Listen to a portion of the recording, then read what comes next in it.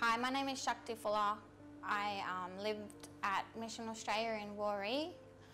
I was homeless and referred to Mission Australia through the Homeless Hub in Cairns. My main goal was to become independent again, so I wanted to get back into the community and work. So Mission Australia in Cairns operates um, quite a few homeless services now.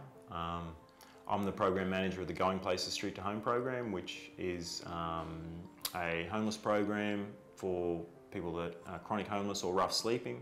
Uh, it's been running almost uh, eight years now, started up in 2010 and since that time we've worked with over a thousand uh, individuals, a thousand clients.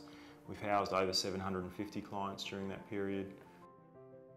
So impact measurement um, for me is uh, measuring the impact that we're having um, in society or in the community. It's basically the last piece in the puzzle for us as far as data collection is concerned and probably the most important one. People come in and rate themselves from a zero to a 10 on all different scales, so their security, what their view is of their health situation and all those kind of things.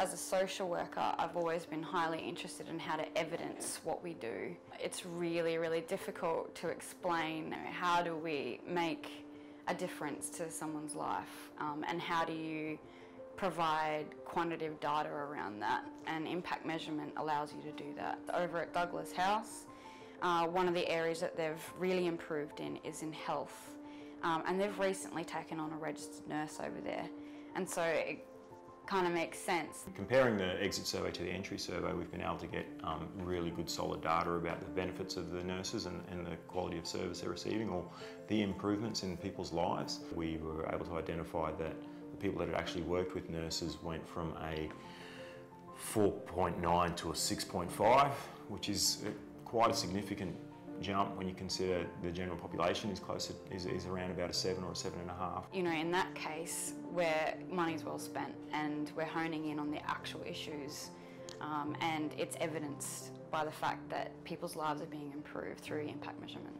We're not just putting people into accommodation and, and, and, and, and just dumping them there and they're just, you know, their life hasn't actually changed, their life has actually improved. I've been in the homelessness sector, like I said, for nine to 10 years and this is sort of the first time that I've been a part of a program where I felt like I'm actually making a difference to people's lives.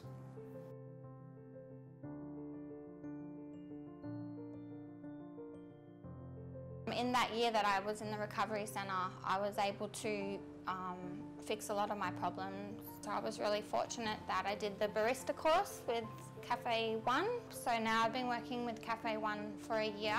And during that year, yeah, I've had lots of opportunities to become part of the community that I couldn't have done without Mission Australia. So yeah, I'm speechless when it comes to how thankful I am. Yeah, words can't explain how many opportunities it's really given me.